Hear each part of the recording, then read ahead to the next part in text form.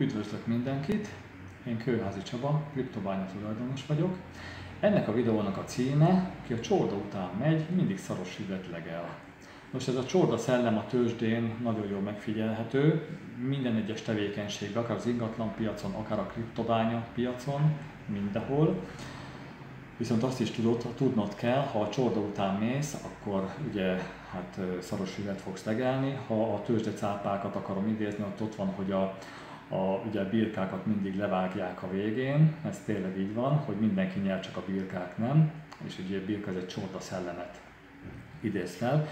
Ezt azért mondom neked, mondok egy másik példát, inkább fiatal koromban én totóztam, azt hittem, hogy én ezen tudok nyerni.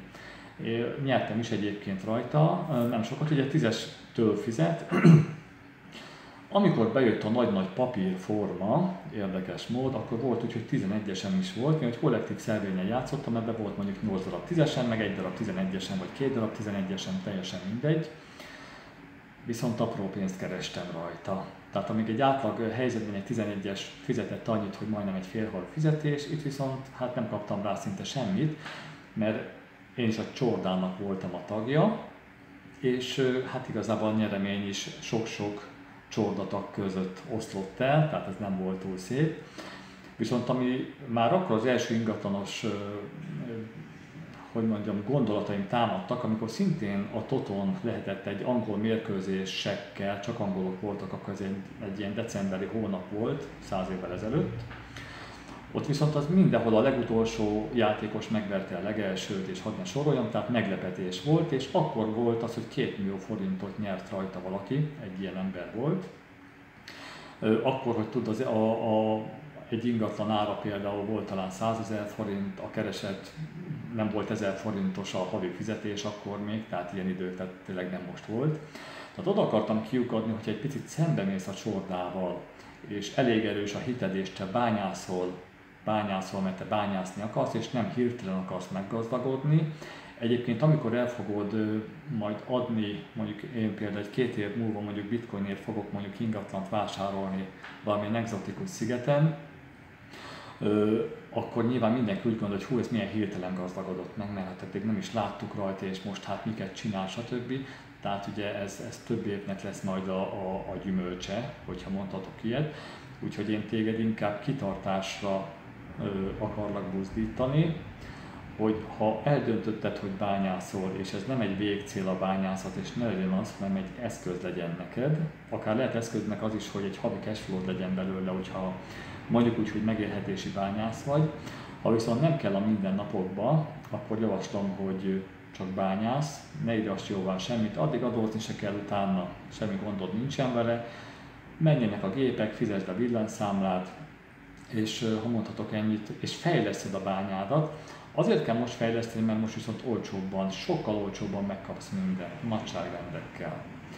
Úgyhogy én most vásárolok és fejlesztem, én minden hónapban fejlesztem egyébként a bányámat, tehát nekem ez a spórolás, hogy minden hónapban spórolok, tehát valamit veszek, és időnként ugye nyilván egy gépet össze is tudok ebből rakni, ezt javaslom egyébként neked is ezt a, ezt a fajta hozzáállást, és ha eltelik egy év, ha évente egy, kettő, négy, vagy tíz, vagy száz géppel több géped van, az jó, ugyanis majd amikor mindenki panaszkodni fog, hogy nincsen alkatrész, ez azért, mert akkor majd felfelé fog menni a piac elég rendesen, és nyilván ez azt hozza magával, hogy akkor mindenki viszont újra bányászni akar, hogy te legyél az az ember, aki kitartóan csinálja, csinálja, mert vannak hosszú távú és, és nagyobb álmaid, amit ezzel akarsz majd megvalósítani, ez legyen az egyik eszközöd, és akkor bányásszál bátran, ne törődj a hírekkel, ne törődj, hogy most merre megy a tőzsde, merre megy a piac, ne a szart akar legelni, hanem a szép tiszta füvet, és most tudod,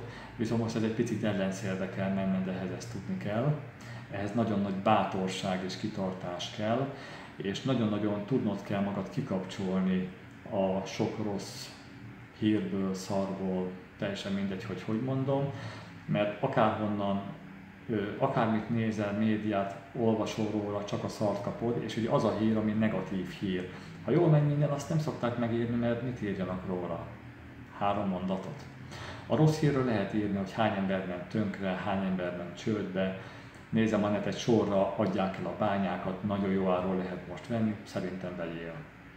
Úgyhogy ha mondhatok ilyet, most kell vásárolni, én most vásárolok, fejlesztem a bányát, sokkal olcsóbban meg tudom tenni, mint mondjuk év elején, Na, most azt mondom 60%-ából meg tudom csinálni azt, amit mondjuk januárban, tehát most szinte, ha mondhatok ilyet, hogy, hogy kettőt tudok egy januári bányára venni, és én egyébként ezt veszem is.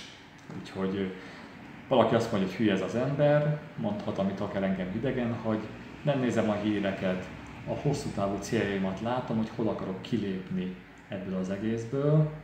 Nyilván a bányászatot fogom majd folytatni, mert egy nagyon jó dolognak tartom.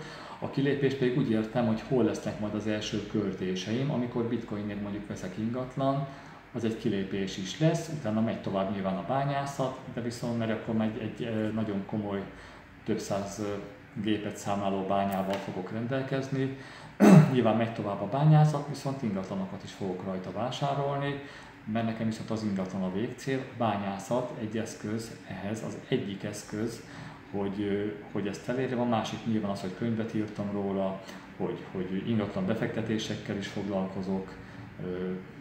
Ez mindegy egy eszköz a végcélhoz, és a végcél mi? A szabadság. Hogy te szabadon élj. Úgyhogy élj szabadon, legyen az egyik eszközöd ehhez a ványa, és csináld kitartóan. Remélem tetszett ez a videó, amennyiben igen, hozd meg ismerőseiddel. Köszönöm, hogy megnézted. Szia!